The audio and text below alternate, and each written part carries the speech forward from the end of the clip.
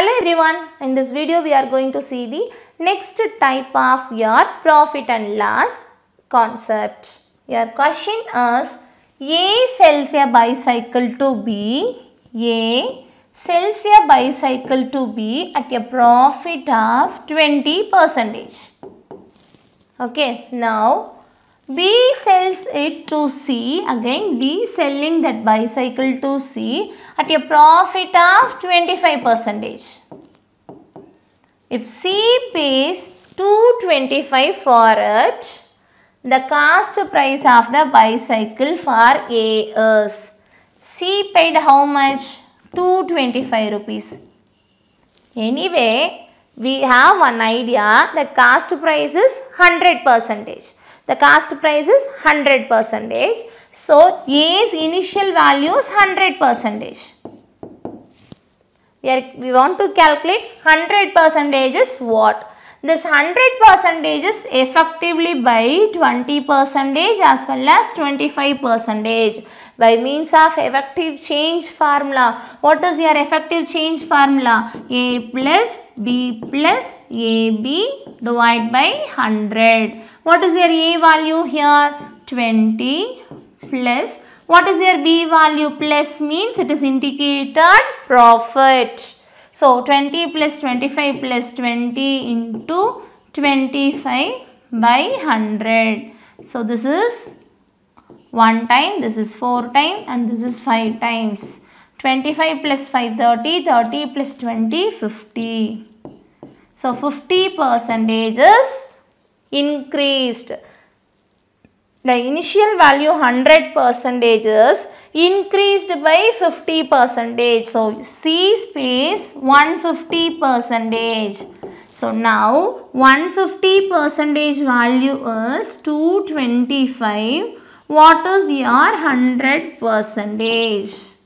Okay, by cancelling by this means we are going to get the cost price of A's that is 100 percentage is what 150 into X is equivalent to 100 into 225. This is 3 times and this is 2 times. 1 3s are 3, 7 3s are 21, 5 3s are 50. 2 into 75, 150 rupees. Initially, A sells to B is that is A's paying amount is 150 rupees. Your answer is 150. By using the shortcut of effective change, we can able to calculate the how much percentage was increased. Okay. And your next question is, a man purchased an article and sold it to B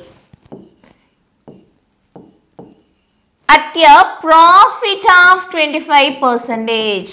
Now, this B sent to C at a loss of 10 percentage.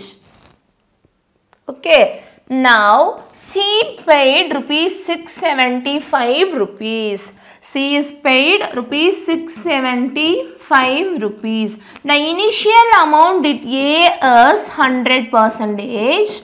So, having two transaction that is profit A minus B plus into minus minus AB. Here we are finding the effective change. There are two effective change in this transaction.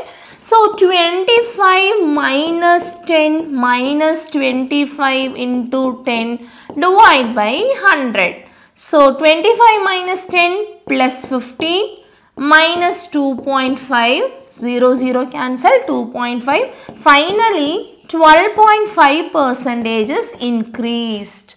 So now the initial 100 percentage is increased by 12.5 percentage. Your answer for the 675 is 112.5 percentage.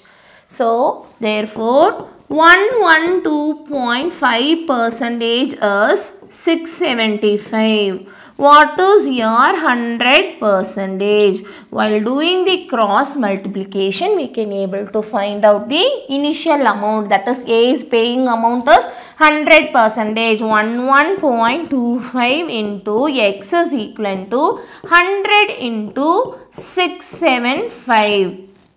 So here I am multiplying both right and left hand side by 10.